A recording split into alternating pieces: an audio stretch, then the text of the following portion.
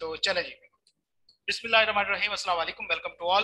तो सबसे पहली बात, नए स्टूडेंट्स के लिए कि पुत्र, बोर नहीं होना, काफ़ी इंटरेस्टिंग चीज़ें हैं, काफ़ी मज़े से हम पढ़ रहे थे, हमने पहले चैप्टर पढ़े इंजॉय में हमने पढ़े हैं, लेकिन आपकी नसीब ऐसे हुए कि जब आपने ज्वाइन किया तो हमने वो जो दो इंतहाई बोरिंग चैप्टर हैं, जो हमारा बेसिकली 35 परसेंट कोर्स जो है वो प्राइज करते हैं, वो आपके नसीब में आ गया। तो परेशान नहीं होना, इनको जस्ट आपने पढ़ना है अनेवार रटल लगा लेना है और हाँ एमसीक्यूज की प्रैक्टिस आपने मस्ट करनी है। कंसेप्ट आपके क्लियर होने चाहिए। देखो बेटा, एक पेपर होता है थ्योरेटिकल मतलब जिसमें चीज़ें हमने लिखनी होती है। ऐसी बात है? ऊपर देख, फिर ऊपर देख। हाँ एक होता है जिसमें हमने चीज़ें लिखनी होती है। एक होता है एमसीक्यूज बेस्ड आपके ख्याल में आसान कौन सा होता है और इन दोनों के पेपर में फ़र्क क्या होता है? मतलब ये नहीं बताना कि उसमें सर टिक लगाने होते हैं, उसमें लिखना होता है। एग्जैक्टली एमसीक्यूज में जहाँ पे आपका पेपर है, आपके कंसेप्ट स्ट्रांग होने चाहिए, रट्टा नहीं होना चाहिए। क्या नहीं होना चाहिए? तो ठंड मॉल में लगा रहे भाई। ये किसी तरह ठंडा चला रखा है ऊपर आपने। इसको हाथ लगाओ जरा यार, ये बर्फ़ होने वाला है। हाँ हाँ फ्रिज लगे हुए अच्छा चले चले, कुछ नहीं खैर इंजॉय करो यार पैसे पूरे करो अपने। अच्छा जी उसके बाद क्या होता है बेटा जो एमसीक्यूज बेस्ड पोर्शन होता है उसके अंदर आपका लॉजिक टेस्ट होता है आपका नॉलेज टेस्ट होता है आपके कंसेप्ट टेस्ट हो रहे होते हैं वो कहीं से भी एमसीक्यूज उठा सकते हैं। आपकी वर्डिंग सेवेंटी परसेंट सीन होगी ही नहीं। देखी हुई भी नहीं होगी आपके कंसेप्ट जो है वो ज़्यादा स्ट्रांग होने चाहिए ठीक है? आज हम आ, क्या कहते हैं आईटी का चैप्टर शुरू करते हैं एंड कोशिश करते हैं कि जितना आप इसको खत्म कर सके हम करें इससे जान छुड़ाई जाए। जितना जल्दी हो सके, ये सारी चीज़ें कॉमन है, आगे चल के मुश्किल स्टार्ट होने वाली हैं। उनको भी आपने बिल्कुल सिंपल तरीके से पढ़ना है और समझना है। ठीक हो गया? ओके हम पढ़ रहे थे अपना इंफॉर्मेशन सिस्टम सिस्टम से क्या मुराद है, पुत्र? मैं भी मुझे ऐसे ही कर लेता हूँ यार, क्या है इसमें? है? हाँ हाँ मैंने बताया था। मैंने दो तीन बार बताया हुआ है। बल्कि चार बार हो चुका होगा एक बार रेगुलर क्लास में बताया फिर हमने रिवीजन में देखा फिर हमने फिर मैंने दो बार बता चुका हूँ। सिस्टम से क्या मुराद है? नहीं हाँ। हाँ ठीक है। इंफॉर्मेशन सिस्टम से क्या मुराद है? आईटी मुराद है। तो फिर आईटी से क्या मुराद है, है? काम करने वाला सेटअप इंफॉर्मेशन सिस्टम वाह, माशाल्लाह। बेटा इंफॉर्मेशन सिस्टम से बड़ा combination of IT plus human इंसानों का और आईटी का आपस में कम्बिनेशन जो है वो मिलकर इंफॉर्मेशन सिस्टम बनाता है। ठीक हो गया? सिस्टम से मुराद होता है कि जहाँ पे कोई ऐसा सेटअप या टेक्नोलॉजीज़ या टेक्निक्स जिसके ज़रिए हम इंफॉर्मेशन को इकट्ठा करते हैं कलेक्ट करते हैं प्रोसेस करते हैं एंड आउटपुट जो है वो जनरेट करते हैं। ओके कल हमने फिर कंप्यूटर सिस्टम के बारे में पढ़ा एंड उसके मुख्तलिफ़ कंपोनेंट देखे। कितने कंपोनेंट है अली कंप्यूटर सिस्टम के। कौन कौन से? कौन कौन से हैं? कोई बता हाँ। सीपीयू की टाइप्स बताओ मुझे कुछ।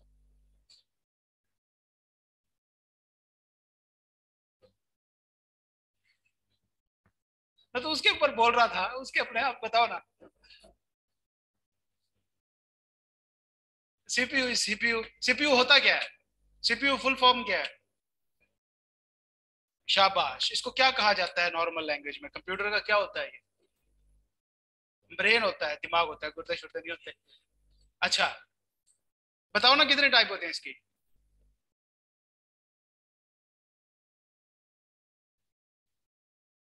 ओके सीपीयू की टाइप्स होती है, लेकिन आपके सिलेबस का पार्ट नहीं है। सीपीयू की टाइप आपकी नहीं है। ये क्या होता है? ऑक्टा कोर डोर कोर ये आप जब सब पढ़ रहे होते हैं जब मोबाइल लेने जाते हैं core two duo core I five ये क्या होते हैं?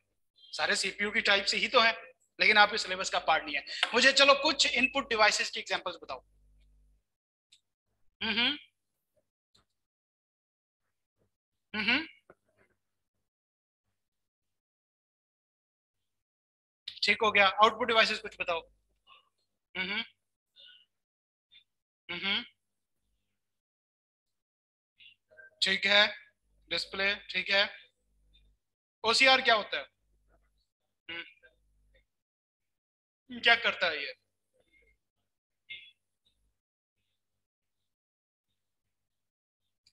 प्री प्रिंटेड हाँ प्री प्रिंटेड पेपर्स को मार्क पेपर्स को चेक करने के लिए यूज़ होता है। हम एम क्या होता है? हम्म, और ये कहाँ पे यूज़ होता है? कॉमन से एग्जांपल बताओ। और हाँ और एक और भी मैंने कल बताई थी। चेक्स के ऊपर हाँ चेक्स के ऊपर जो है वो ये यूज़ हो रहा होता है। अच्छा स्कैनर जो है, ये किस तरह की आउटपुट देने के लिए यूज़ होता है?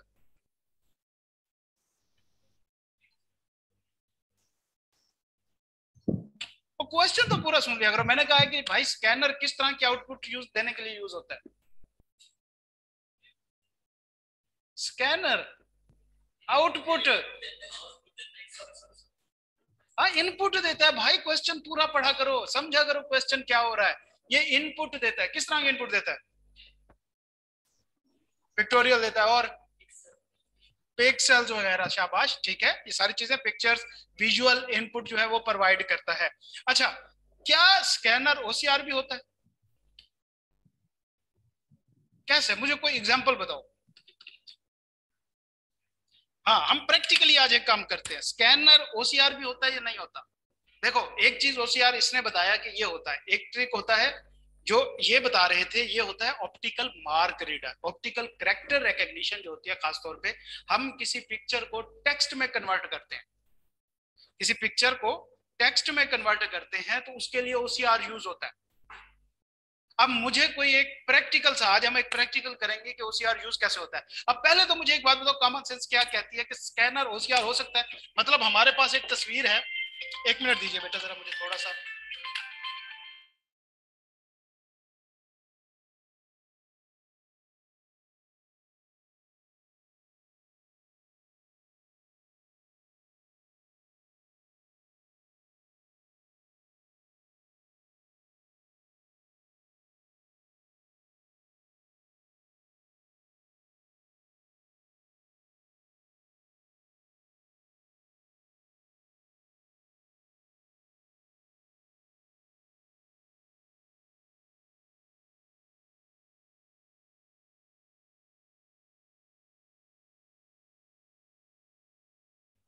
हाँ जी।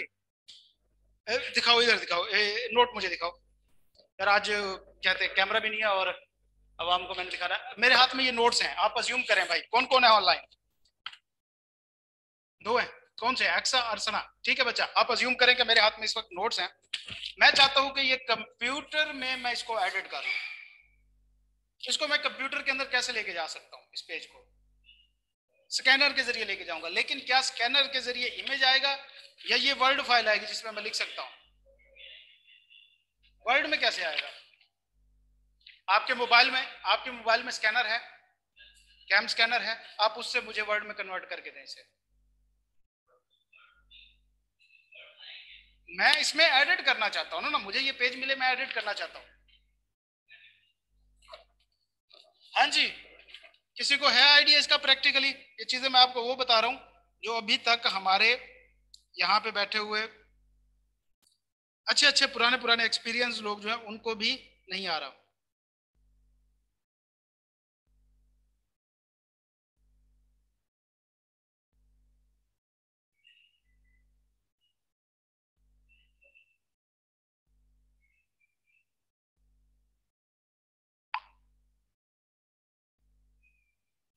हम्म, बताओ ना मुझे यार क्या बताया यहाँ पे क्या है सोल्यूशन नो सर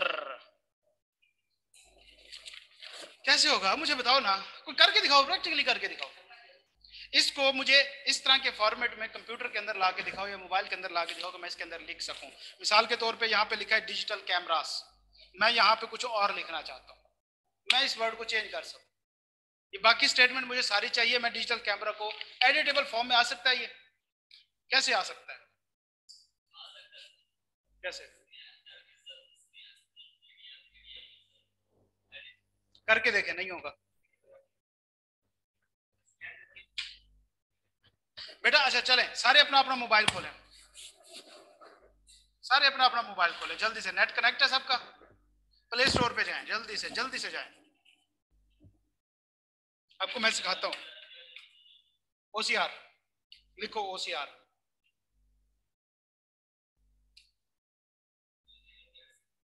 हाँ जी, इसको करो।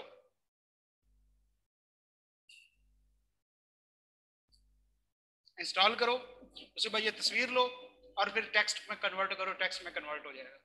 तो बेसिकली जो स्कैनर होते हैं, ये ओसीआर भी होते हैं। तमाम स्कैनर ओसीआर नहीं होते, लेकिन अच्छे वाले जो आजकल के स्कैनर हैं ओसीआर हैं, वो इसको वर्ड फ़ाइल में भी आपको कन्वर्ट करके दे देते हैं। आप अपने मोबाइल से इसकी पिक्चर लें एंड उसमें से टेक्स्ट एक्सट्रैक्ट कर लें, आपको सारे का सारा टेक्स्ट मिल जाएगा। ठीक हो गया? समझ आई इसको आपने प्रैक्टिकली परफॉर्म करके देखना है। चले जी। आज हम आउटपुट डिवाइसेस करते हैं। आउटपुट डिवाइसेस क्या होती है बच्चा? जो आउटपुट देती है प्रोसेस इन्फॉर्मेशन को तो मॉनिटर क्या है भैया? टेलीविज़न स्क्रीन की तरह है। वो बहुत ही मुश्किल है। हमें पता ही नहीं था मुबारक को प्रिंटर क्या है? जो हमारे लिए प्रिंटेड पेजेस के ऊपर प्रिंटेड आउटपुट हमें प्रोवाइड करता है। Printing can be in colour और black and white depending upon the printer type ठीक हो गया? पहले हमारे पास प्रिंटर टाइप भी थी inkjet laser laser jet printers वगैरह वगैरह।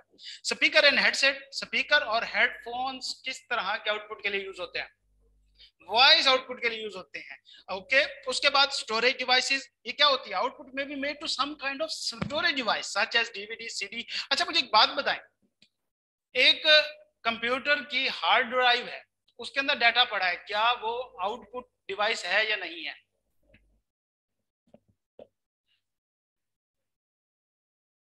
कोई भी पड़ा है, किस भी, तब आपके कंप्यूटर की हार्ड ड्राइव है, इसके अंदर जो डाटा पड़ा है, मेरे लैपटॉप के अंदर जो ड्राइव लगी हुई है, इसके अंदर जो डाटा पड़ा है, क्या ये ड्राइव आउटपुट डिवाइसेज है या नहीं है? क्योंकि वो कह रहा है स्टोरेज डिवाइसेज आउटपुट डिवाइस होती है। आउटपुट डिवाइस से मुराद क्या है? क्या ऐसा डाटा जो आपको एक्सट्रैक्ट करके बाहर मिल जाए। ठीक है कंप्यूटर आपको दे दे। से क्या हम कहते हैं प्रिंटर एक आउटपुट डिवाइस है। क्यों वो हमें एक पेज अलहदा करके सिस्टम से दे देता है? स्टोरेज एक अलहदा डिवाइस है, जो आउटपुट है। क्या इसकी हार्ड ड्राइव को मैं इसमें से निकाल लू? ठीक है? और मैं इसको कहीं और जाके लगाऊँ तो डाटा मौजूद होगा?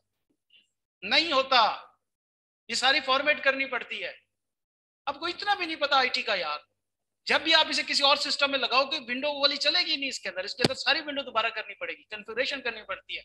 ये ड्राइव जो है, ये सारी फॉर्मेट हो जाएगी। नहीं, ये हार्ड हार्ड ड्राइव चलेगी, ये डाटा बीच में नहीं रहेगा।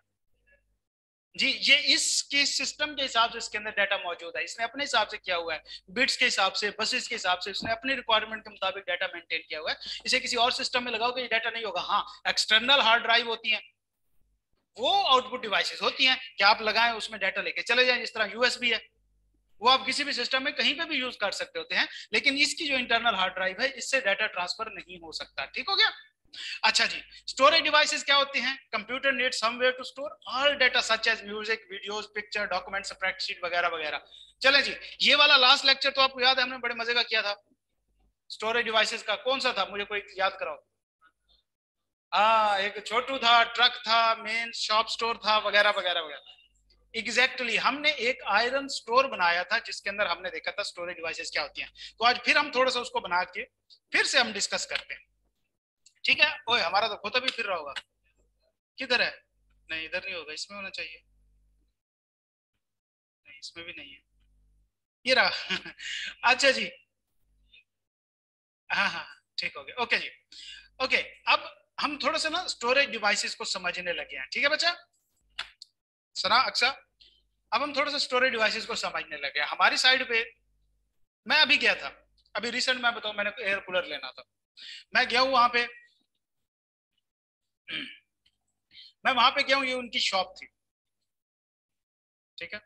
इस तरह की एक लंबी सारी शॉप थी। यहाँ पे कुछ फ्रिज खड़े हुए थे, यहाँ पे कुछ वॉशिंग मशीन पड़ी हुई थी, यहाँ पे कुछ इलेक्ट्रॉनिकल इक्विपमेंट पड़े थे, यहाँ पे फिर फ्रिज थे, यहाँ पे ग्लास फ्रिज खड़े हुए थे। ये रास्ता था, ठीक है? ये रास्ता था और यहाँ पे दरमियान में कूलर पंखे खड़े हुए थे। मतलब तीन, चार, पाँच वैरायटीज के पंखे थे और हर किसी की एक ही वैरायटी मौजूद थी ठीक है? मतलब एक एक पीस खड़ा है एशिया वालों का खड़ा है, इस तरह कोई एयर पूल था, उसका खड़ा था, पाँच पीस यहाँ पे खड़े थे। ठीक हो गया? ये उसका शोरूम था। मैं उसके पास गया और मैंने कहा कि जनाब जी, ये वाला एशिया का जो फ़ैन है, ये कितने का है? वो कहता है, जी, साढ़े इक्कीस हज़ार का। मैंने खड़े खड़े कहा यार, कोई खुदा का खौफ करो। अब मैं आपको एक मज़े की चीज़ और भी बताऊँगा कि क्या हुआ। मैंने कहा, यार, खुदा का खौफ करो, मेरा भाई तो ये सत्रह हज़ार का ले गया। हालाँकि मेरे भाई पिछले साल ले गए थे और मुझे पता भी नहीं था वो कितने का ले गए थे। मेरे ख्याल में था शायद वो साढ़े सत्रह का लेके गए हुए थे। अब ज़ाहिर बात है, एक साल पूरा आगे हो गया था फुल सीज़न रमज़ान के अंदर आपको पता है तो वो कह रहे थे कि नहीं सर जी, ऐसा नहीं होता। है वो खैर बंदे जानने वाले थे हमारे, क्योंकि छोटा सा इलाका है, वहाँ पे हर बंदा एक दूसरे को जानता है कि वो इन्हीं का ही, इन्हीं की ये ना गोल्ड समित भी है सुनियारे। तो गोल्ड वगैरह हमारा सारा इन्हीं से होता है, ये हमारे फैमिली सिनारे आप कह सकते हो। तो वही, यहीं से आता जाता है सारा कुछ। अच्छा तो मैंने कहा, यार मेरे भाई तो ये सत्रह हज़ार का ले गए हैं, आप कहते हो जी, ये अठारह हज़ार का और मैंने कहा कि आपके पास कितने पीस है? कहते, पाँच, छह पीस पड़े हैं। मैंने कहा, भाई, यहाँ तो एक पड़ा कहते, नहीं, पड़े हुए हैं। अच्छा मैंने कहा, चले जी, कोई बात नहीं, मुझे कम से कम दो तो चाहिए। यहाँ तो एक पड़ा हुआ है और ये भी पुराना हुआ पड़ा है, मुझे तो नया पीस चाहिए जो पैकिंग के अंदर हो, जिसके ऊपर गत्ता गुत्ता भी लगाओ वो कहते, ठीक है, मैंने कहा, लेकिन पहले रेट कर लो। कहते, जी, साढ़े सत्रह हज़ार का आपका भाई ले गया। मैंने कहा, जी, ले गया। कहते, यार, ऐसा करो, साढ़े उन्नीस हज़ार कर लो। इससे ज़्यादा नहीं हो सकता कम। मैंने कहा, नहीं भाई, इस तरह की बात नहीं होती, मैं तो सत्रह का ही लूँगा। भाई करते करते वो साढ़े सत्रह पे आ गया। अच्छा अब साढ़े सत्रह पे आ गया, जब तो टिक गया वहाँ पे। अब मेरा इरादा था कि सिर्फ़ पंद्रह तक लाऊ। मैं भाई फुल, बिल्कुल जो घर में हमारी वो अमिया जाके शॉपिंग करती हैं और मैंने एक लाइन पढ़ी थी उस पर लिखा था कि मैं जब अम्मी के साथ शॉपिंग पे जाता हूँ और दुकान वाला अम्मी को कपड़े का रेट तेईस सौ बताता है और अम्मी छह सौ कहती है तो मुझे अपनी फ़िक्र पड़ जाती है कि दुकानदार मुझे पकड़े ना लंबा बाद है और सीरियस में ऐसा होता है, मैं नहीं जाता होता साथ में, हम खुद कह रहे यार, बस कर दो, और की करना है? अच्छा जी तो वो साढ़े सत्रह पे आ गया। अब मैंने जनाब जी क्या किया, उसका मैंने कहा कि आप ऐसा करें कि, चले, मुझे टाइम दे, मैं घर में बात कर लू। ठीक हो गया? हाँ हाँ। मैंने दुकान वाले को कहा कि मुझे थोड़ा टाइम दे, मैं घर में बात कर लेता हूँ। मैंने घर फ़ोन किया, मैंने सिस्टर का, मैंने कैसे इस तरह एयर कूलर है, जो भाई लेके आए थे ना, उसी तरह का ही है। और साढ़े सत्रह का भाई लाए थे तो मैंने साढ़े सत्रह का फाइनल किया। वो कहते, भाई, साढ़े अठारह का लाए थे। मैंने कहा, है? भाई, साढ़े अठारह का लाए थे हाँ। कहते रेट क्या है? मैंने कहा, साढ़े इक्कीस हज़ार उन्होंने मुझे पच्चीस हज़ार दिए थे घर वालों ने एक कूलर लेने के, पच्चीस उनके थे, पच्चीस मेरे अपने जेब में थे, दो लेने थे मैंने। तो मैंने कहा अच्छा ऐसी बात है, फिर तो मैं डन करता हूँ। भाई, मैंने डन किया, मैंने खोला अंदर, वाकई वो चिट लगी हुई थी साढ़े उन्नीस हज़ार की, कि वो उनका फाइनल रेट था, उससे नीचे आ भी नहीं रहे थे तो सिस्टर का एक फ़ैन था तो मेरी भांजी थी, उसने मुझे जब पच्चीस हज़ार दिए तो उसने कहा कि, भाई, कोशिश करना पाँच हज़ार कम अज कम बचा के ले आना, मैंने ईद की शॉपिंग कर ले लिया इसमें से। जब मैंने जाके उसके हाथ में सात हज़ार रखा, वो भाई उसकी खुशी अलग लेकिन मैं ये देख रहा था कि भाई मार्केटिंग चलती कैसे है, काम कैसे होता है? हालाँकि मैंने ऐसे खड़े खड़े कहा कि भाई साढ़े सत्रह का लेके मेरे मेरे सिर्फ़ एक जहन में था कि साढ़े सत्रह था शायद। साढ़े सत्रह नाम सुना था साढ़े अठारह का लेके गए थे। मैं एक साल बाद वही फ़ैन बल्कि उससे भी बेहतर क्वालिटी में था, साढ़े सत्रह का ले गया। अच्छा अब मैंने उसे कहा, जी, मुझे दो फ़ैन चाहिए। कहता जी, मिल जाएँगे? मैंने कहा कहा है? मेरे पास तो है नहीं। कहता है, भाई, हमारा पीछे ना, यहाँ पे गोदाम है, स्टोर है, ठीक है? इसके अंदर हमारे आठ दस पीस इसके पड़े हुए हैं चार चार पीस हर फ्रिज के पड़े हुए हैं ये वो वाला अपना। मैंने कहा अच्छा मुझे एक बात बताओ कि ये पीछे स्टोर के अंदर जितनी आपकी चीज़ें पड़ी हुई हैं उसके मुकाबले में फ्रंट पे आपने कितनी रखी हुई है? कहता है जी पीछे हमारे 90 परसेंट हमारी स्टोर के अंदर होती है।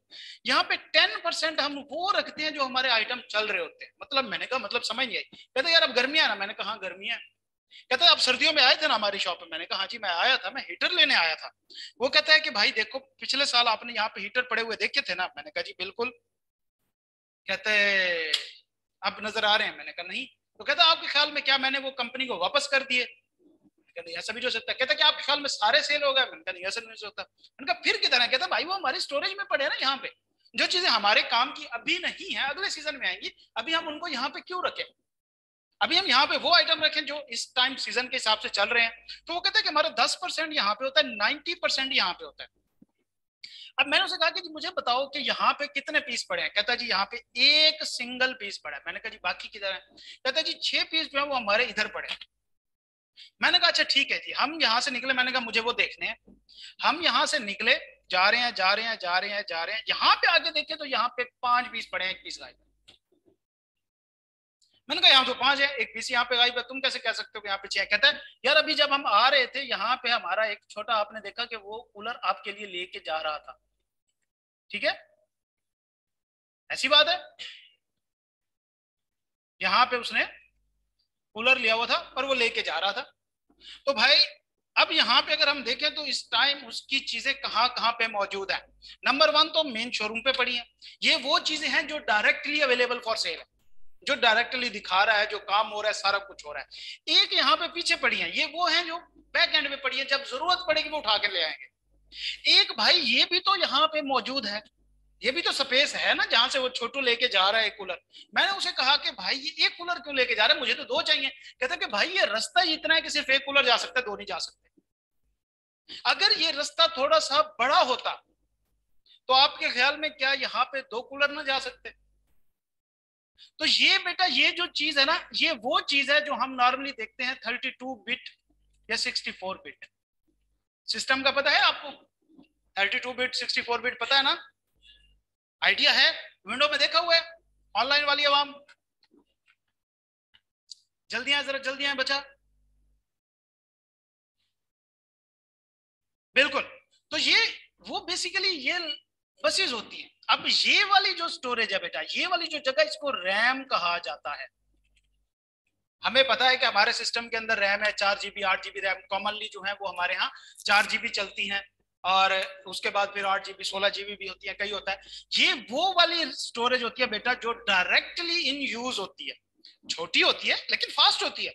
मतलब अगर यहाँ से कोई चीज़ चाहिए तो वो फ़ौरन उठाएँगे, ये लोग उठा के ले जाओ ऐसी बात है। ये छोटी होती है, लेकिन फास्ट स्टोरेज होती है। इसका लिंक किसके साथ है? इस बैकएंड में बड़ी बड़ी स्टोरेज के साथ। जो है तो बड़ी, लेकिन स्लो है। और इसको यूज़ कब किया जाता है? जब ज़रूरत होती है। जब किसी चीज़ की ज़रूरत होती है, हम उसे यहाँ से छोटू उठाते, उठा के ले आते हैं यहाँ पे काम करते समझ? आई ये वाली जो स्टोरेज है, इसको सेकेंडरी स्टोरेज कहा जाता है। जिसको हम हार्ड डिस्क वगैरह कहते हैं। ये प्राइमरी स्टोरेज होती है जिसको रैम वगैरह कहते हैं। अच्छा अब ये जो हमारा गोदाम है, अब इसके अंदर ज़ाहिर सी बात है कि कहीं ना कहीं से मटेरियल आना लोडिंग अनलोडिंग भी होनी है, चीज़ें आनी भी हैं। अब से के एक ट्रक भर के आया सामान का, क्या वो यहाँ शोरूम पे आएगा या डायरेक्ट इधर आएगा? गोदाम पे आएगा शोरूम पे नहीं आता होता। गोदाम पे यहाँ पे एक सड़क है, बड़ा सारा गोदाम है, वहाँ पे हमारा ट्रक आया, यहाँ पे ट्रक लगा हुआ है। ठीक है? ओके, एक मिनट। कैसे ट्रक होता है? अच्छा जी। ओके। ठीक हो गया। तो ये यहाँ पे एक ट्रक है, यहाँ पे एक छोटू है, यहाँ से चीज़ें लोड, अनलोड भी हो रही हैं। ठीक हो गया? अब ज़ाहिर सी बात है कि देखो, अब हम इसको एनालाइज करते हैं कि इस वक्त चीज़ें मौजूद कहाँ कहाँ पर है। नंबर वन यहाँ पे मौजूद है, ये एक स्टोरेज है। नंबर टू यहाँ पे मौजूद है, जो रस्ते के अंदर है। नंबर थ्री यहाँ पे मौजूद है। नंबर फोर ये ट्रक के साथ जो छोटू अनलोड कर रहा है, उसके पास भी तो कुछ ना कुछ डाटा मौजूद है। इसको टर्शरी स्टोरेज कहा जाता है। ये जो एक्सटर्नल स्टोरेज है, क्या ट्रक इनके बाप की मतलब प्रॉपर्टी है? नहीं एक्सटर्नल है माल। ये जो एक्सटर्नल स्टोरेज को कनेक्ट कर रहा है हार्ड ड्राइव के साथ, ये एक मीडियम होता है, बीच में जो छोटा होता है, इसको टर्शरी स्टोरेज कहा जाता है। ठीक है? ओके जी तो अब हम जरा चलते हैं एंड बुक से इसको पढ़ते जाते हैं। ये सारा कुछ जो है वो क्लियर होता जाएगा। प्राइमरी स्टोरेज क्या है? Internal memory store directly accessible by the CPU ये वो होती है जो डायरेक्टली असेसेबल है मतलब फ्रंट डेस्क है शोरूम है। उसके बाद वोलाटाइल बाय नेचर कि जैसे ही आप शटर बंद करोगे, वो दुकान बंद हो जाएगी। लेकिन गोदाम में तो फिर भी गार्ड बैठे होते हैं। वहाँ पे तो आप फिर भी काम चल रहा होता है। ठीक है? वोलाटाइल इन नेचर की। जैसे ही आपने पावर बंद की, एक प्रोग्राम जो हमारे यहाँ इस टाइम ये चल रहा है, ये वाली फ़ाइल मैंने हार्ड डिस्क में स्टोर की हुई थी। ये जो मेरी बुक है, हमने सामने खोली हुई है, इसको पढ़ रहे हैं। मैंने इस पे काम करना था, मैंने जल्दी से छोटों को बगाया कि जा हार्ड डिस्क से लेके आ। वो इसको उठा के ले आया। अब ये मैं रैम के अंदर रख के यूज़ कर रहा हूँ। ठीक है? अगर यहीं पे अभी सिस्टम का स्विच हिल जाता है तो ये सारा कुछ बंद हो जाएगा। जब हम दोबारा ऑन करेंगे, क्या ये यहाँ पे मौजूद होगा? नहीं। खत्म हो जाएगा। ये वोलाटाइल नेचर है। ये कोई कोतिया वगैरह वगैरह।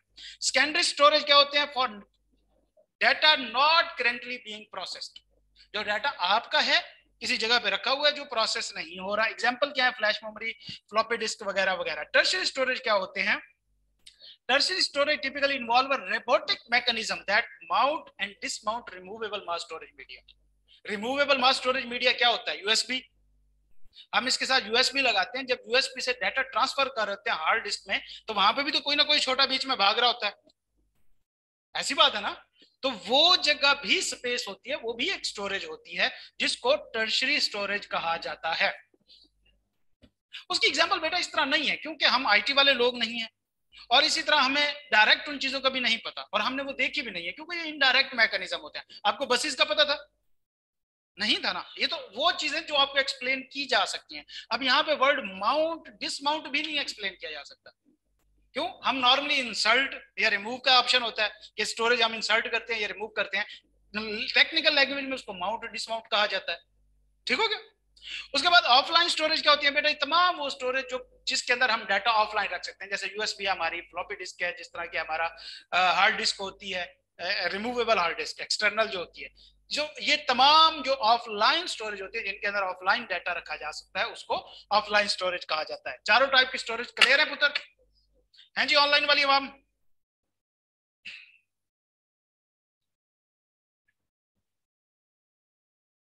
चलें जी गुड हो गया। ओके अब ये हमारा पहला कंपोनेंट था छोटा सा बिल्कुल बेसिक सा था। अब असल जी बेटा? ब्लू रे ड्राइव यार सीडीज जो होती हैं।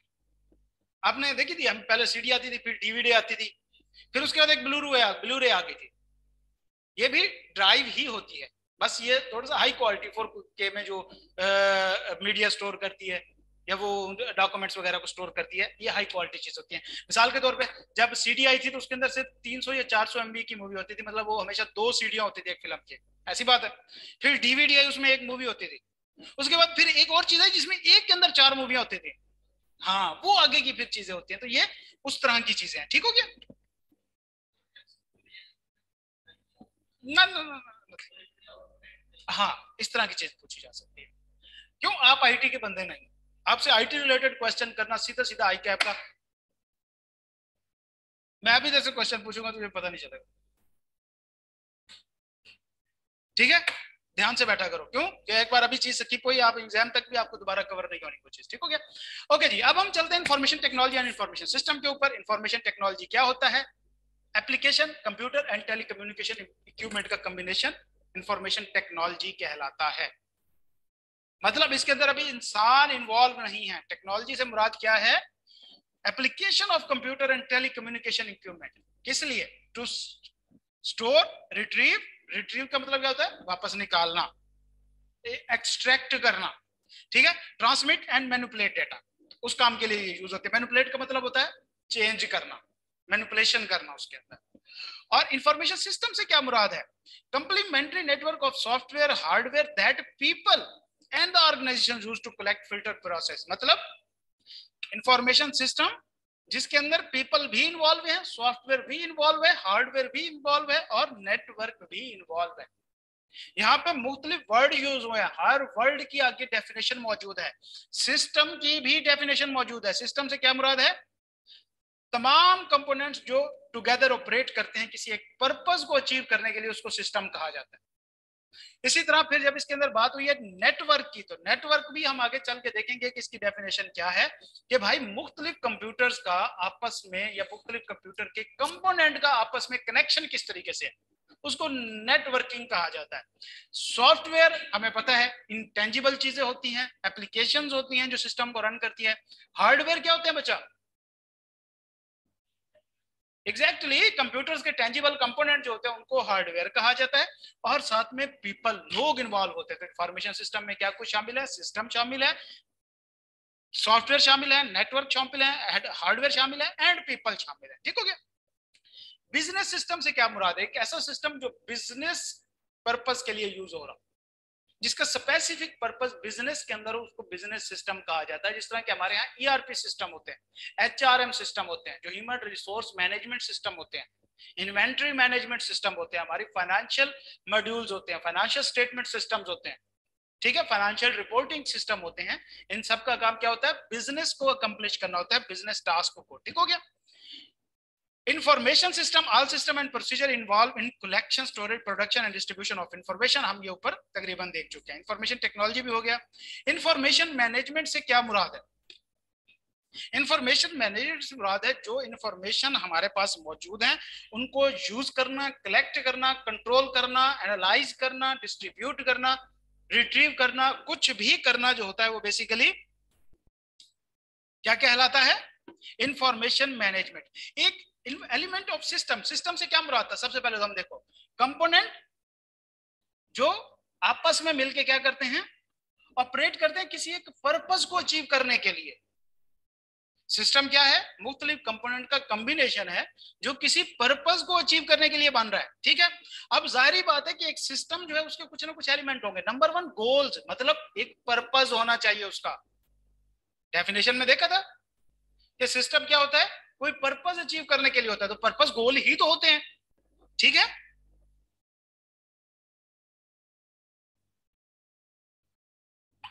अच्छा जी, उसके बाद इनपुट्स सिस्टम को क्या होता है, हमने क्या पढ़ा यहाँ पे? A set of interacting components that operate together to accomplish a purpose वो कहता है कि सबसे पहले तो हर सिस्टम का एक गोल होना चाहिए, उसके बाद इनपुट्स होने चाहिए। मतलब कोई ना कोई ऐसा मैकेनिज्म हो जिससे आप सिस्टम को इंफॉर्मेशन दे सकें इनपुट कर सकें। ऐसी बात है? मिसाल के तौर पे हमारे यहाँ ये एसी मौजूद है, ठीक है? इसके इसके ऊपर क्या टेम्परेचर इस वक्त चल रहा है? 16 चल रहा है। इसको कैसे पता चला कि ये 16 पे चल रहा है? ये जो सामने 16 आ रहा है, ये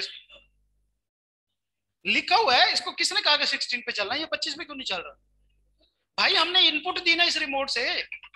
इसको अगर हम इनपुट ना दें से कि ये बंद पड़ा था, हमने वहाँ से बटन ऑन किया इलेक्ट्रिसिटी सप्लाई हो जाएगी इसको। लेकिन जब तक हम यहाँ से इसको कमांड नहीं देंगे ऑन करने की इनपुट करने की ओपन करने की, क्या ये काम करेगा? इनपुट होनी चाहिए सबसे पहले। इसका पर्पज क्या है कि इस टाइम ये कमरे का टेम्परेचर 16 पे रखे। ऐसी बात है। उसके लिए ये अन्य काम कर रहा है बेचारा शहरियार को ठंड माहौल में बैठा है, कमरा नहीं ठंडा हो रहा। कमरा उस बेचारे से नहीं ठंडा हो रहा। लेकिन देखो कि इनपुट इसका पर्पज क्या है कि कमरे को इसने 16 पे मेंटेन करना है। 16 से नीचे जाएगा सिस्टम क्या करेगा ये? अगर एक टेम्परेचर 16 से नीचे पहुँचता है या 16 पे पहुँचता है तो ये क्या करेगा?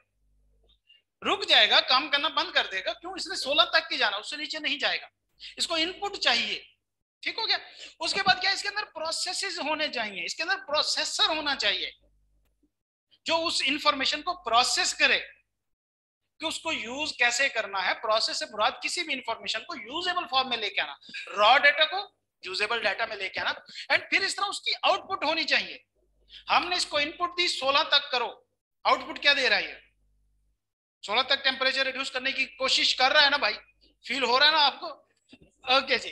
उसके बाद द इन्वायरमेंट हर सिस्टम का एक इन्वायरमेंट होता है जिसके अंदर वो काम कर रहा होता है। इसका इन्वायरमेंट क्या है? ये रूम ही इसका इन्वायरमेंट है। इसी से ही वो इनपुट ले रहा है। इसी से ही वो आउटपुट दे रहा है। और इसी से ही वो प्रोसेसिंग इसी के हिसाब से कर रहा है। इसी रूम को उसने सोलह पे रखना है, ना कि उसने पूरे लाहौर को सोलह पे रखना है। ठीक है ना? तो इसका एक इन्वायरमेंट है जिसके अंदर इसने काम करना है। इसकी बाउंड्रीज है। वो एक बंदा कराची जाता है, झट होता है, वापस आता है। बड़ा परेशान होता है। लोग पूछते क्या होगा यार, कराची डूब गया होना। क्यों है? यार, बस, कराची डूब गया फ़ोन जल्दी खबर ला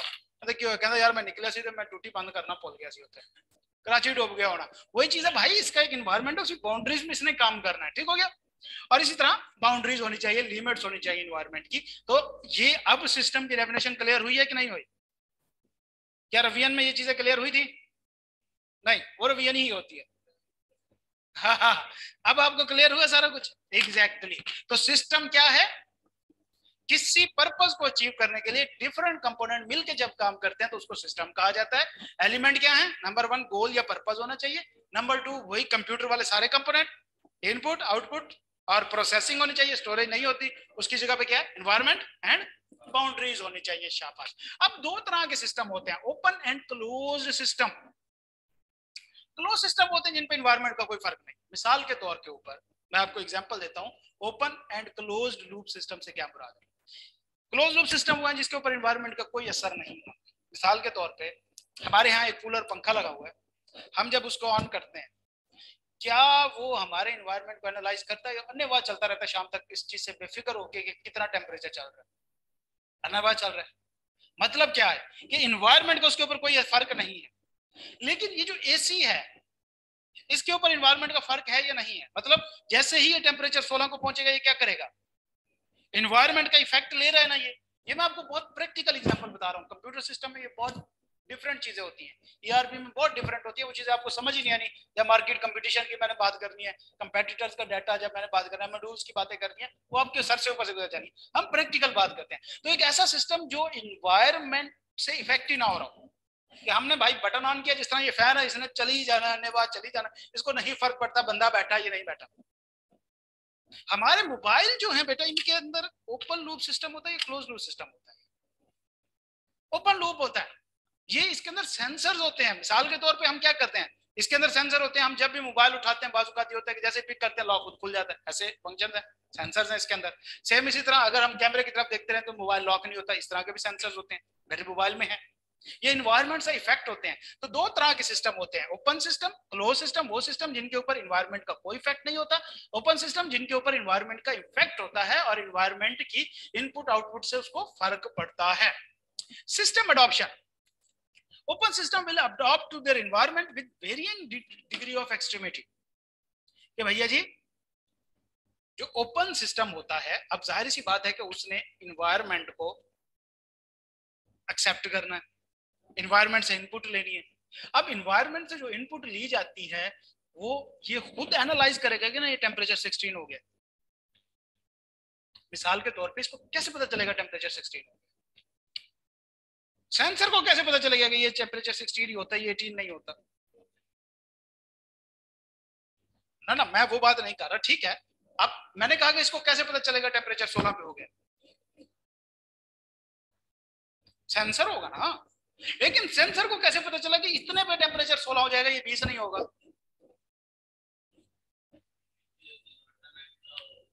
मतलब इसका ये है, नहीं नहीं नहीं नहीं सोलह कौन सा इन्वायरमेंट का टेम्परेचर भाई रूम टेम्परेचर बाईस होता है।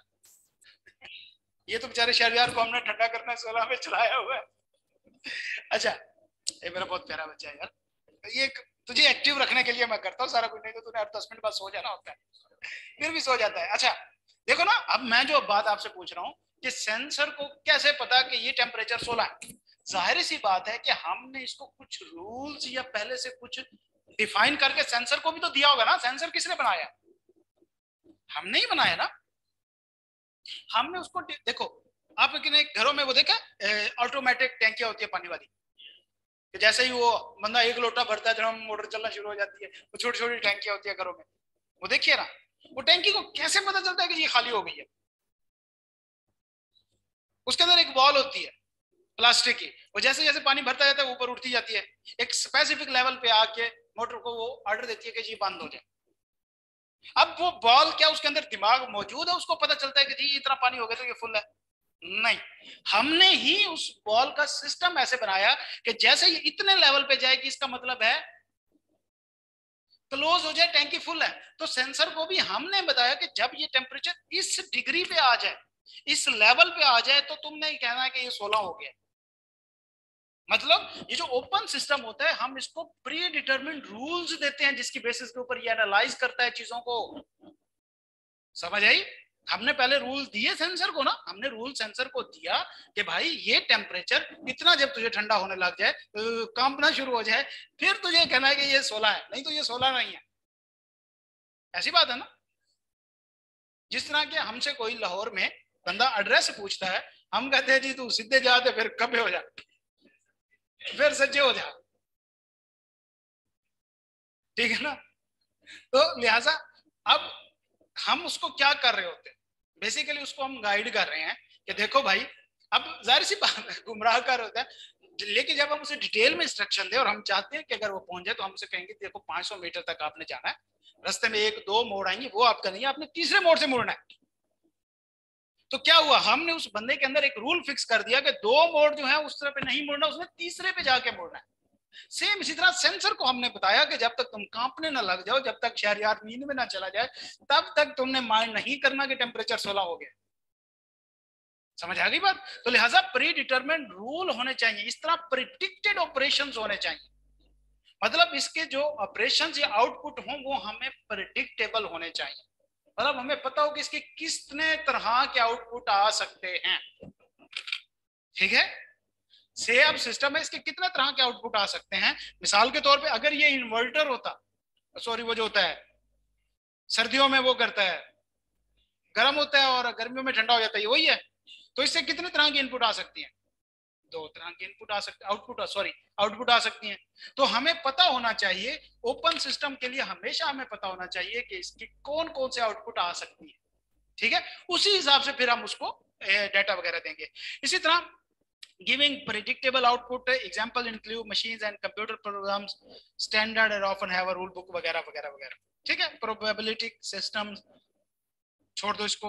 सेल्फ ऑर्गेनाइजिंग और साइबरनेटिक सिस्टम इसको भी, भी छोड़ दें। इसके ऊपर हम पढ़े तो बहुत टाइम खा जाएगा। इसको हम फिर रखते हैं इंशाल्लाह डिस्कस करेंगे। अच्छा जी कंट्रोल सिस्टम क्या होता है?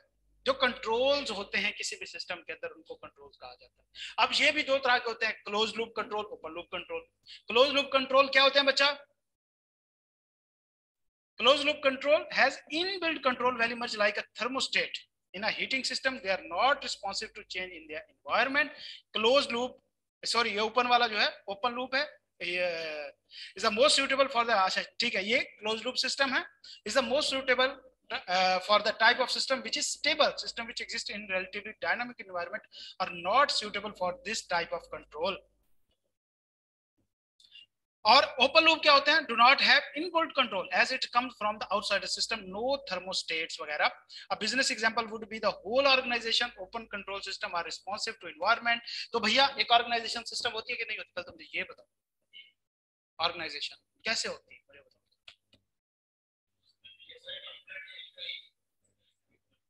Exactly exactly. इसका भी तो पर्पज होता है इस पे भी तो इन्वायरमेंट का इफ़ेक्ट होता है, इसके भी तो रूल्स एंड रेगुलेशन होते हैं। ये भी तो किसी कॉमन ऑब्जेक्टिव को अचीव करने के लिए यूज़ हो रहा होता है। तो लिहाजा, बेटा, अब ये लूप का मतलब अब ये सारे टेक्निकल वर्ड्स हैं। ये सब कंप्यूटर आईटी की चीज़ें हैं, इनको हम इस तरह नहीं कर सकते। ठीक है? इसका मतलब क्या है? अगर हम लूप की बात करें, वैसे इसमें हाँ मतलब एंड टू एंड मीट कर देना, उसको लूप कहा जाता है। जिस तरह की हम बाजुकात म्यूज़िक सुनते हुए लूप क्रिएट कर देते हैं कि वो बार बार बार बार रिपीट हो जाए। ठीक है? अब आईटी की टर्म्स हैं तो ये बहुत डिफरेंट वाली चीज़ें और डिफरेंट है, ठीक है? ओपन लूप कंट्रोल सिस्टम आपने सिंपल यही याद रखना है क्लोज लूप जो होता है, इसके अंदर इंटरनल कंट्रोल होते हैं। ओपन लूप जो होता है, इसके अंदर इंटरनल कंट्रोल नहीं होते, बल्कि इस सिस्टम से इन्वायरमेंट से जो है वो अफेक्ट हो रहा होता है और वहाँ से वो इनपुट वगैरह ले रहा होता है। इसके एलिमेंट क्या है? Input process output sensors comparator standard effectors वगैरह वगैरह। इनको आपने एक बार टिका के रट्टा मार लेना चारों पाँचों को। क्या बेटा?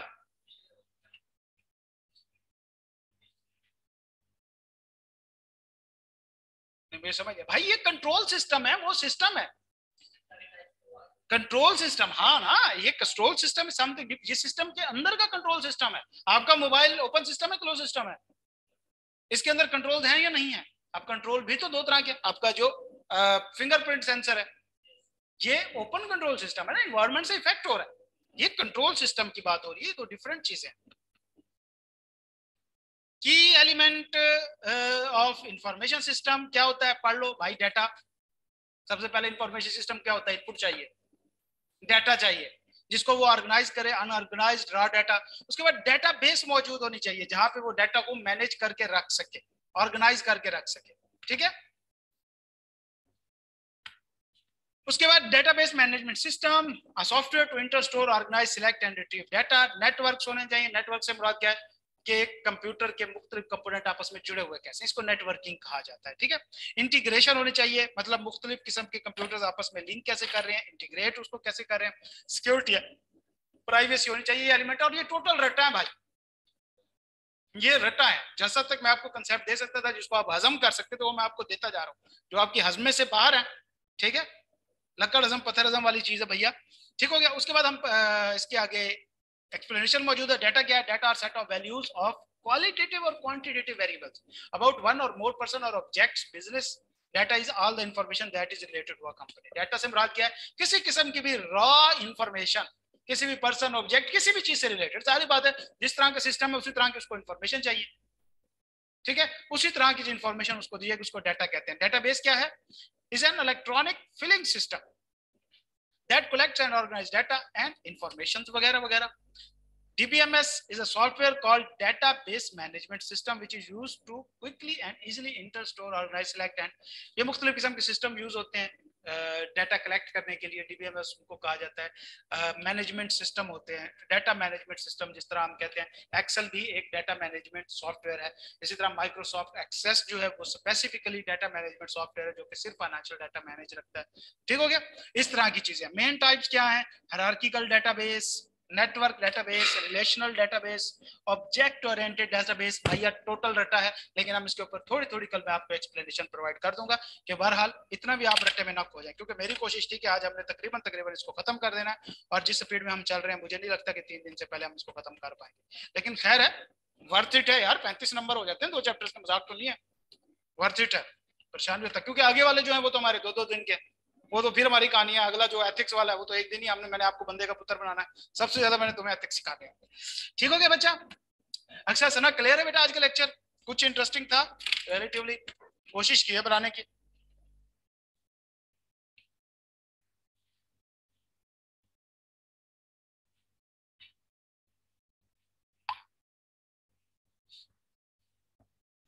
सर टेस्ट को आपने डिस्कस करना है। जी जी बेटा, जैसे अपने को टाइम मिलता है, लेकिन अभी कल तो आपका टेस्ट होना इंशाल्लाह।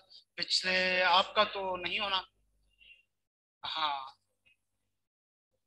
नहीं, अभी टाइम नहीं है, बारह बजे अभी मैंने निकल रहा आप लगता है आपको लगता है फिर ये। किधर है? टेस्ट दिखाओ मुझे। टेस्ट दिखाओ जल्दी से मुझे। किधर है? दिखाओ तो मुझे। मुझे ढूंढना पड़ेगा। सर, चार एंड पाँच चैप्टर के वेटेज कितनी है? बेटा, कम अज कम पैंतीस नंबर है। दो चैप्टर्स का। तीस से पैंतीस नंबर का है। कल पिछले चार चैप्टर्स का टेस्ट होगा।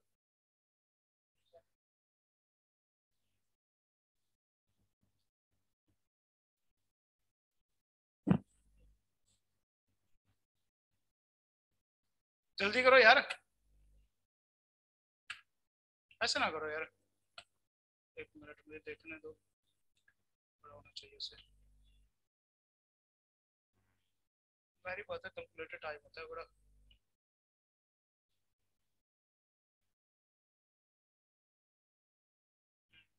चैप्टर फोर का टेस्ट नहीं पड़ा यहाँ पे कहाँ पे गया? यार, मैंने कहाँ पे रख दिया? मतलब इतना बेहोश हो गया। चलो, कोई नहीं यार, पहले कल हम उसको डिस्कस कर लेंगे, इंशाल्लाह, ठीक है? ओके बेटा जी अल्लाह ताला आप सबको अपने जबान में रखे। अल्लाह हाफिज़।